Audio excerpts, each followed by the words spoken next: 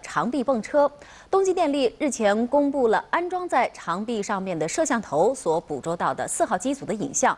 东京电力表示说，从这份影像资料上可以推断，四号机组的乏燃料池的瓦砾已经脱落了，开始出现破损。好，我们继续来看其他方面的消息。二零一零年，中国的国防白皮书昨天发布，这是中国政府一九九八年以来第七次发表国防白皮书。白皮书强调，中国坚持走和平发展的道路，奉行独立自主、和平外交政策和防御性的国防政策。无论现在还是将来，无论发展到什么程度，中国都永远不称霸，永远不搞军事扩张。白皮书提出，新时期中国国防主要有四项目标和任务。维护国家主权、安全、发展利益，维护社会和谐稳定，推进国防和军队现代化，维护世界和平稳定。关于国防经费，白皮书说，近年来中国年度国防费占国内生产总值的比重相对稳定，占国家财政支出的比重略有下降。去年国防费预算五千三百亿元，比零九年增长百分之七点五，增幅还有所下降。白皮书在谈到两岸关系时说。海峡两岸可以适时就军事问题进行接触交流，探讨建立军事安全互信机制问题。两岸应在一个中国原则的基础上协商正式结束敌对状态，达成和平协议。发布会上，在谈到日本核泄漏事件时，国防部表示，福岛核电站发生泄漏后，中国立即对军用核设施进行了全面检查，中国的军用核设施均处于安全状态。东方卫视记者朱威、李柏林北京报道。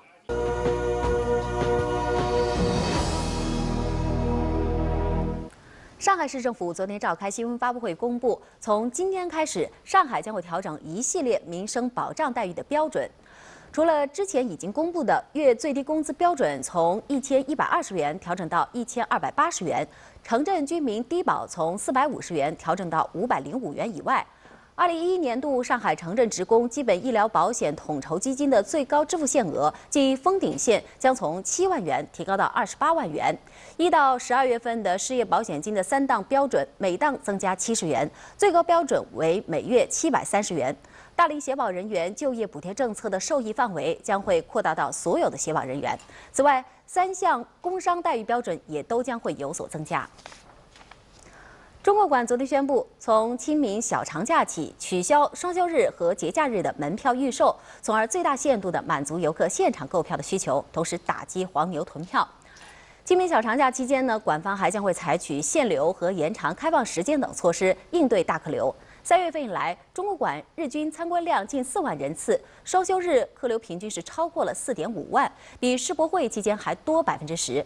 官方再次提醒市民，在参观中国馆之前，请登录官方网站或者是拨打热线查询客流的情况，合理安排参观的时间。昨天上午，上海的医保挂号系统遭遇到了暂时性的瘫痪，约有二十多分钟以后才恢复正常。据了解啊，系统网络阻塞的原因是许多市民想赶搭医保年度结算的末班车，享受医保共付段的优惠，导致了医院的就诊配药的人数大增，医保系统网络阻塞。上午十点半，卢湾区五里桥社区卫生服务中心的医保挂号系统已经恢复了正常。据了解，系统故障发生在九点零五分左右。九点零几分吧，就是下面就是结算的时候，呃，报错了，收费报错，然后我们下去看了一下，就是中心数据库错误，然后我们觉得可能是市医保的问题，然后就是打电话和他们联系，他们也确认这个事情。就有的人叫了，哎，你们怎么这么搞的搞的？这个快点修呀！华山医院等三级甲等医院也发生了系统故障。早晨是九点零五分左右吧，我们发现就是医保病人的挂号呢，就是挂不上。记者从市医保信息中心了解到，上午全市各家医院和医疗机构都出现了医保系统瘫痪的情况，中心立即采取了紧急措施，临时调配资源，扩充空间。九点半左右，系统就恢复了正常。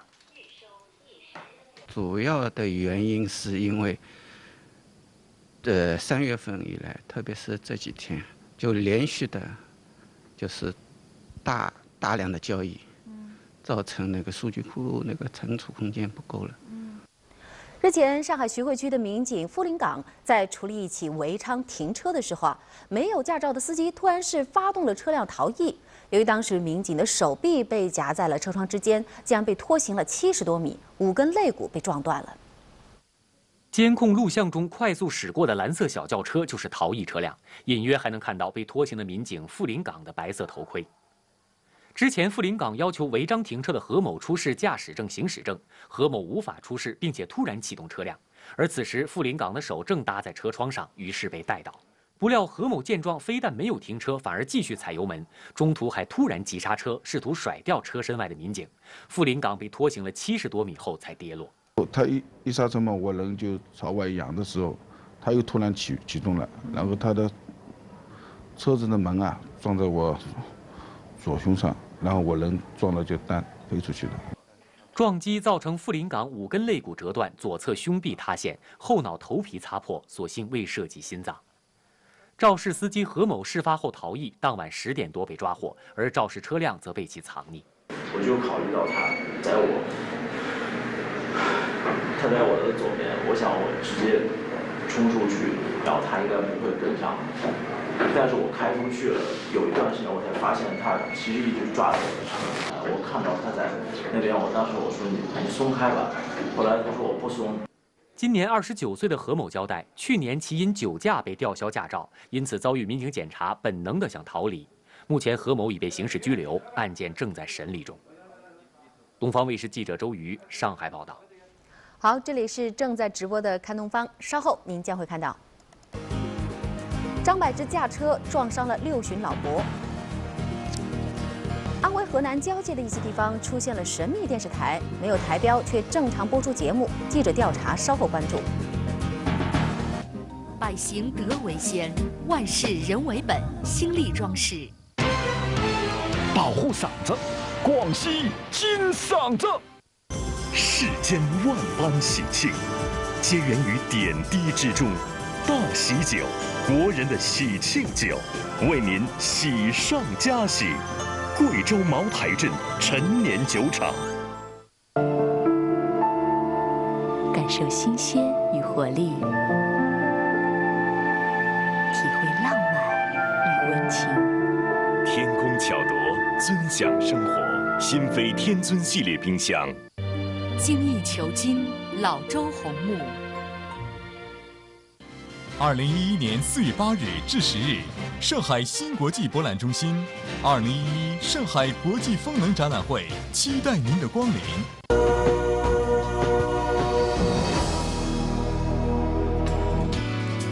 北京时间八点零九分，各位早上好，这里是正在直播的看东方，我们继续来看新闻，娱乐方面的消息。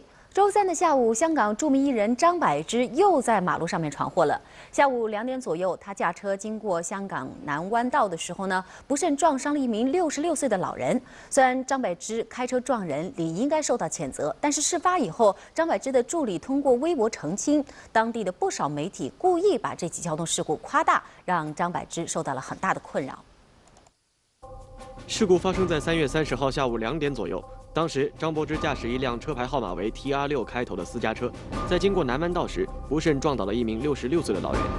警方赶到后，对张柏芝进行了酒精测试，结果显示张柏芝并未酒后驾车，因此并没有对张柏芝进行逮捕。随后，老人被送往玛丽医院急救，而大批媒体闻讯后也立刻赶到医院。据香港媒体报道，事故发生后，张柏芝方面承诺会承担老人所有的医疗费用，并表示会前往医院探望伤者。不过，截止到记者发稿时，张柏芝并未出现在医院。期间有报道称，在致电张柏芝助理 Emily 询问情况时，对方表示这只是小事，似乎有漠视人命之嫌。Emily 在个人微博上就此事发表声明，他表示一些媒体的夸大报道已经给张柏芝带来了很大的困扰。我已向警方查询伤者病况，得知伤势没有大碍，只是某些传媒没有求证就报道伤者是腿部骨折，反是我轻率人命，请不要做些事实报道，然后弄黑事情。我只好担心伤者病况，我们都好想探望伤者，现等警方安排，亟待联络伤者。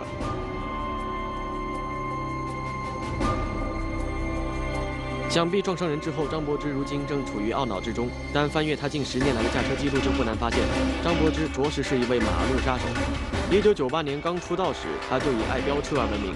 当年还是新人的他，就曾一人同时拥有四辆跑车。二零零二年，他还曾接受香港无线电视台的邀请，在一场慈善活动上进行飞车特技表演。结果发生了严重事故，导致脊椎骨骨折，演艺事业险些就此中断。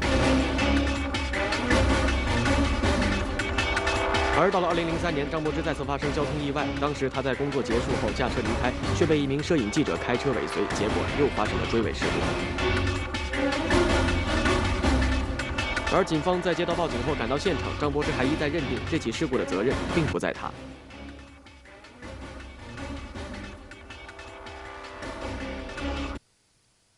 你啲記者跟得貼啫嘛，驚自己蝕底咁，爭佢一厘米都要跟，跟車太貼有冇睇廣告啊？其實揾食啫，做嘢啫，就唔使攞命咯，係咪先？你哋自己跟得貼嘅時候係你哋自己唔啱咯，永遠你撞人哋撞人哋後一定係你哋唔啱。咁所以我覺得唔係不解之緣啦，係你哋你哋個工作態度變有問題咯，係啊。萬一如果我有咩事嘅時候，你哋邊個負責到啊？不过事后，警方发现当天张柏芝并未携带驾照，因此属于无照驾驶。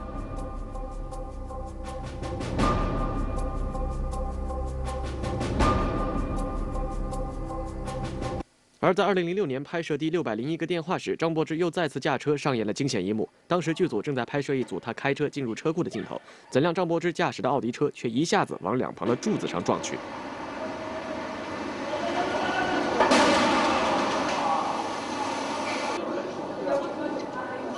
我不想其他人受伤，就我没事没事没事没事没事没事没事没事。哎，我我不想他们有有事情，所以我一就是找那个东西来装上去。此次张柏芝再度于马路上闯下祸端，虽然受伤的六旬老伯没有生命危险，但毕竟仍在医院接受救治。在此还是奉劝张柏芝，今后驾车还是小心小心再小心。好，我们继续来看娱乐方面。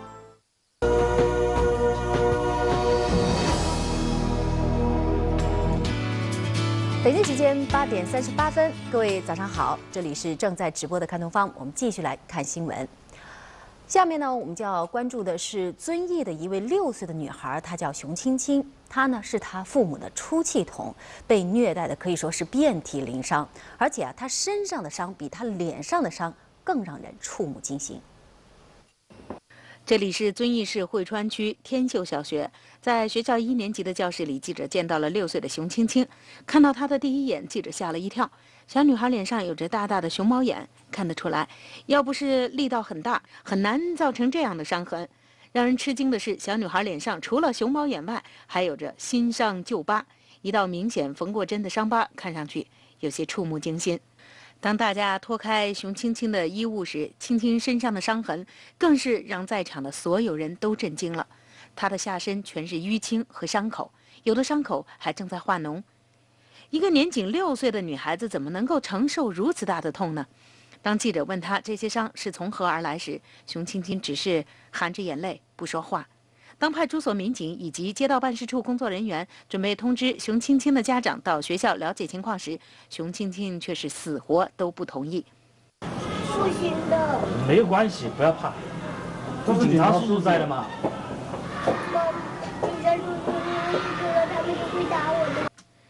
记者发现，青青在和大家说话的时候，手里一直捧着一个大馒头，啃得津津有味儿。老师告诉记者，青青平时在家要做饭，自己却没有多少吃的。这个馒头还是早上别的老师给她的。当青青来到长沙路社区医院的时候，医生们看着这些伤口都惊呆了。随即，医生开始对青青的伤口进行消毒包扎，还对她的躯干部位进行了拍片检查。经过医生诊断得出，青青身上多处多发性软组织挫伤，双腿前侧四处烫伤。表皮已经化脓，属于双下肢皮肤浅二度烫伤。为了消炎，青青需要住院进行治疗。与此同时，茅草铺派出所也传来了消息，青青的母亲已经找到了。在派出所，我们见到了青青的母亲，她叫唐东慧。当问及为什么要打青青时，她却这样回答：偷东西那人别人那跟别人一天就说点谎话，没打他他还说我打他有事儿，吵架。我只能想把他教好，也没说把他打成那个样子。我不晓得，烫伤严重，我不晓得，我真的没烫。那青青身上的烫伤是怎么来的呢？随后，派出所民警对青青的父亲熊宇进行了调查。经过询问，熊宇承认了青青的烫伤是他造成的。目前，青青的父亲熊宇已经被处以五天的治安拘留。由于家中还有一个两岁的孩子需要照顾，青青的母亲被处以查看处罚。如果不是亲眼从节目当中看到了伤痕累累的青青，我们真的是不敢相信世界上还有这么狠心的父母。那么和刚才那两个狠心的父母形成鲜明对比的是，接下来的这位母亲的举动了，她让我们所有的人不由得肃然起敬。前两天啊，在江苏镇江市发生了一起交通事故，一辆轿车撞上了一辆电瓶车。就在相撞发生之前的那一瞬间，电瓶车上的年轻女子抛出了自己怀中只有两个月大的孩子。结果呢，孩子得救了，母亲却不幸身亡。目击者张先生说，电瓶车上有一对夫妻和一名婴儿，他们都是在事故中受了伤，被送往医院抢救。事发时，电瓶车由男子驾驶，而女子怀中正抱着一名婴儿。目击者张先生说，车祸发生后，夫妻俩都受了伤，丈夫表情痛苦地躺在路面上，妻子趴在路边是一动不动。一旁四五米远的地方，他见到了被母亲抛出的婴儿。不会这个婴儿在家娃娃在家，那个过了不过了，反正我到那个驾驶室几个车子，戴个眼镜去后头去，把车门开出来了，我快打跳，我说这个这个车是干嘛一个人出来的？你怎么叫他喝酒了？他自讲的，我去后头去后头了，我给你做了，我给你赔偿。事故大队民警随后也赶到了现场，对事故进行勘查。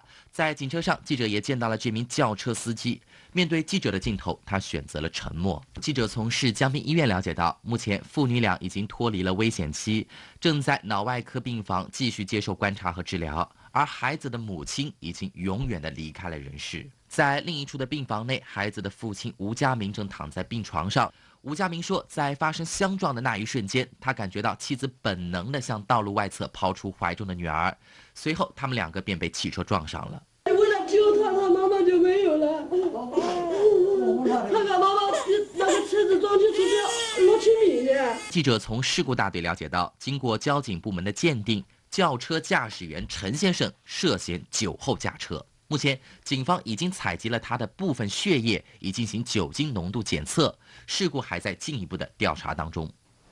好，我们再把视线转向南京，在南京市新街口正红街广场的附近啊，一辆金灿灿的跑车。违章停在了马路上，十分的耀眼，给过往的车辆和行人是带来了不便。而当警察前往去处理的时候呢，车主却不见了踪影。记者赶到现场时，这辆违停的跑车仍然停在广场的马路边上，是一辆比较名贵的英菲尼迪，车身一片金黄，不过上边没有牌照，也不见车主。此时周围已经围了很多市民，看见车子独特的外观，有人还拿出手机拍照，对正红街广场造成了不小的交通拥堵。目击者说，这辆车半小时前停放在这里。至于车主为什么把车停在这边，他们也不清楚。很快，交警部门也赶到现场，并找来拖车，准备拖走这辆跑车。闹市区本来嘛，这个停车位本来就少一点，对不对？不能随便乱停。他一停嘛，别的车都跟他停的话，交通容易堵塞。也许是看到交警到场，一名貌似车主的男子终于出现，并打开车门。面对交警的质问，该男子不愿多说什么。这个这个不方便讲。那你的车为什么停在路边上呢？是是人家安排的。对于这辆贴满金箔的豪华轿车，为什么会突然违停在新街口闹市区？车主明明在边上，却迟迟不现身，而是任由市民们围观该车。对此，有市民推测，这也许就是一场炒作，作秀的感觉嘛？是不是？围观的人那么多，是吧？造成交通堵塞。刚才看到了这么多车子过不了，带我去看看他，看有没有行驶证、什么临时牌照之类这些东西。为了不让人看到自己的样子啊，浙江台州一个自以为聪明的歹徒用黑色的口罩捂住了嘴脸，抢劫在银行 ATM 机旁边取款的女子。但是呢，银行的监控最终还是给他揪了出来。从监控上，我们可以看到，当时是晚上七点半左右，一名女子在银行外的 ATM 机旁取款。这个时候进来了一名男子，戴着口罩，用手捂住脸，站在女子边上的另一台 ATM 机旁，一副鬼鬼祟祟的样子，还时不时地打量着身边的女子。随后，趁着女子不注意，这名男子立即从背后拿出刀抵住她的下巴，并马上抢过女子的现金和钱包，撒腿就跑。被抢的女子黄某随即向台州警方报了案。是二零。一零年一月十九号晚上，呃，在我们商业街农业银行那个取款房里发生了一个抢劫取款人的一个案子，受害人是一个女的。然后通过我们进一步侦查发现，二月二号晚上也发生了类似的一个案子。二月二号的这个案子，监控再一次清楚地记录下了同样的作案手段，还拍到了另一名可疑男子。警方分析应该是同伙，在对案件展开侦查后，警方最终锁定卢某有重大的作案嫌疑。发现有一个三门人姓罗的这个人比较可疑，然后我们就通过进一步调查，包括委托那个三门街跳派出所帮协助我们调查，后来发现了。呃，本案的 A 犯。据了解，犯罪嫌疑人卢某今年二十三岁，三门人，高中毕业后就一直在宁波打工。去年一月十九号，卢某跑到台州经济开发区玩乐，随身携带的几百元钱没几下就用光了，口袋空空的他居然想到用抢的方法来赚钱。目前，犯罪嫌疑人卢某已被依法刑事拘留，不过他的另一名同伙仍然在逃。三月二十九号的上午，山东济南市历下区刑警一中队抓获了一伙专门向各大金店下手的珠宝大盗。可笑的是，这伙盗贼三次偷窃呢，三次被抓。进到珠宝店，五个人显得互不相识，一旦出门，几个人熟的就像亲兄弟。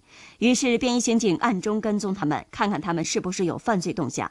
在一家商场，他们果真出手了。通过监控录像可以看到，这个团伙分工明确，手法娴熟。盗贼从伸手偷项链到偷完走人，用了不到三秒钟的时间，掌握了犯罪证据。负责跟踪的刑警果断出手，一举把五名犯罪嫌疑人抓获。呃，其中有三人有盗窃前科，抓取柜台的这个金银手金银珠宝，当时一把抓了二十多万的，价值二十二十五万左右的，判了有期徒刑十二年。让人捧腹的是，在已查实的三次盗窃珠宝案中，这伙笨贼第一次偷了二十多万的项链被抓现行，第二次偷了价值四万的项链没能逃离现场，这次偷到了这条项链之后，又把自己送进了派出所。现在，这伙三次出手、三次被抓的笨贼已经被公安机关拘留。在浙江余姚最热闹的南雷路啊，一到节假日，来购物的人流就会形成一条望不到头的长龙。就在这人来人往的环境当中，七十多岁的胡大妈突然就遭遇到了飞来横祸。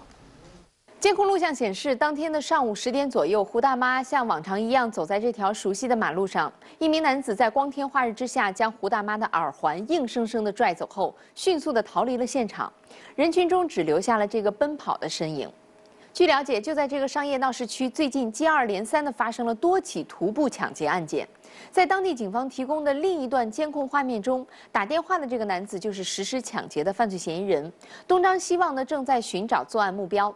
陆小姐买完东西走在路上，这个时候犯罪嫌疑人发现了正在打电话的陆小姐，于是呢，在前面的一辆汽车后面等待着陆小姐。毫不知情的陆小姐一边打着电话，一边慢慢的走着。就在陆小姐走到犯罪嫌疑人等待的身边时，犯罪嫌疑人一步上前，一把就拽走了陆小姐脖子上的黄金项链，然后快速的跑入了旁边的小巷。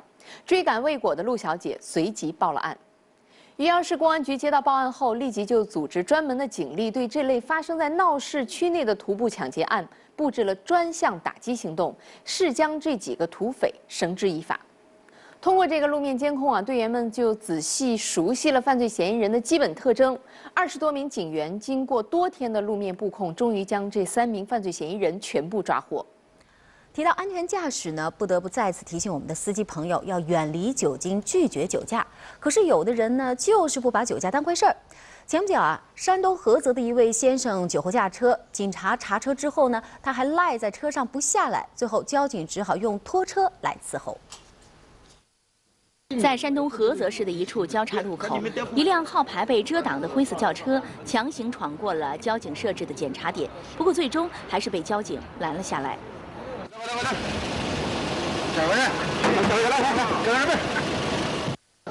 车是拦下来了，可任凭交警怎么说，车内的三个人就是躲在车里不下来。没办法，交警只好调来拖车，连车带人一起拖到了停车场。直到两个多小时后，其中一个人才摇摇晃晃地下来了。谁开的车？啊，我不知道，我怀孕了。你是开的车吗？是你开的车吧？不是啊。谁开车？我不知道。随后，车上的另外两个人也才下了车。这时，距离查获这辆车已经过去了近三个小时。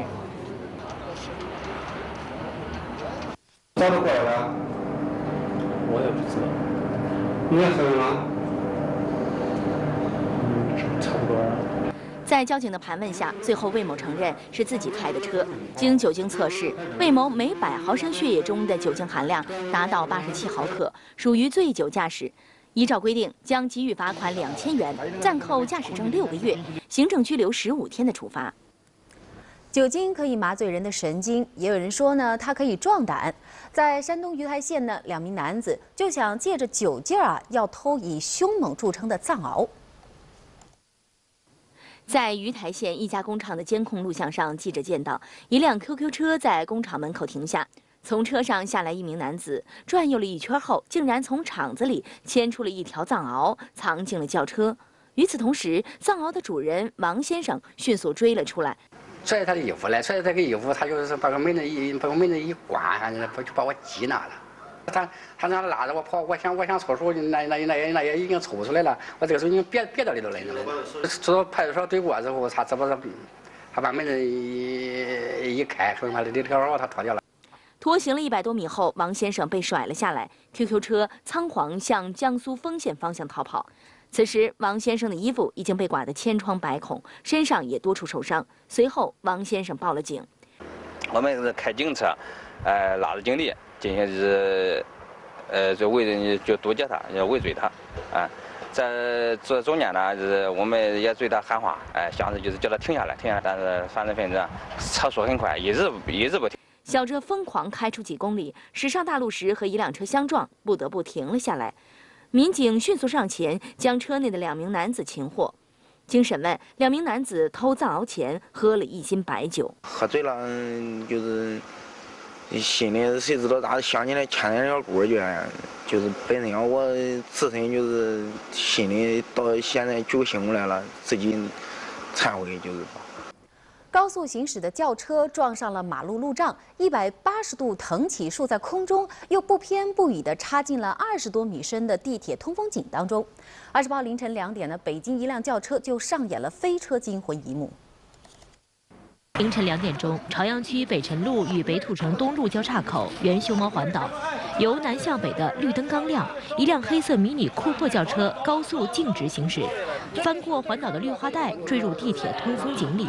所幸井下六米深处的一段金属管将车卡住，车内三名男子被困。随后，几名路过的司机立即赶到井旁查看情况并报警。因为车子悬在半空，被困人员又卡得比较紧，无法实施救援。中队立即要求交通部门调动大型的吊车来到现场。两点四十五分，吊车到达现场，将车辆固定好以后，吊车收紧吊钩，倾斜的车体被扶正，并缓缓向井上拉起。收绳，收绳。吊车吊起的同时，六名民警和消防员兵分三路，手持长耙，将车体死死拉住，以防挂在窗口的伤者撞上墙或者突然掉下来。凌晨三点四十分，轿车被成功吊出井口。记者注意到，该车前后部均无车牌，一名男子半个身子挂在车外，腿部被卡在车里。三点五十分，第一名被困男子被救出，随后另两名被困者也被救出。凌晨四点，急救人员将三名伤者送往九九九清河急救中心。事后，记者了解到，司机经抢救无效死亡，其他两名伤者，一人在重症监护室接受抢救，一人已经转入普通病房。警方对事故车辆及现场展开调查，并将轿车内的京 N 和 GB 两套车牌带走调查，现事故原因正在进一步调查中。今天是西方节日愚人节，那么网络上面整人的法子是层出不穷，不少博友都贴出了有趣又不伤和气的整蛊方案。那我们呢就帮您整理了一下，希望能够让电视机前的您啊，在今天的愚人节快速的识破对方的诡计，防止被弄得晕头转向。根据一些资深被整者的经验，如果您遇到以下情况，可得小心了。如果遇到貌似夹着奶油的夹心饼干，千万不能随便乱吃，因为这有可能是别人事先去掉原来的夹心儿，用牙膏取而代之加以粘合。到底吃饼干还是刷牙，您可以选择一下。如果有人送来一束鲜花，您可不要高兴得太早，仔细看看材质是不是用大蒜、大葱、洋葱、胡萝卜等可爱的蔬菜拼凑成的，同时还附带了臭豆腐汁儿香精。